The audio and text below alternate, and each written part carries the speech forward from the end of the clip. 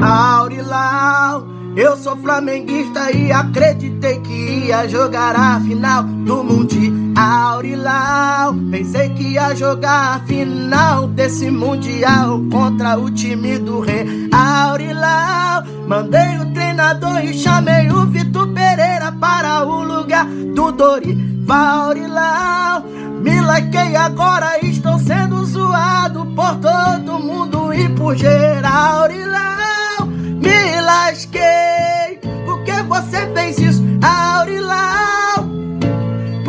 você acabou comigo, Aurilau?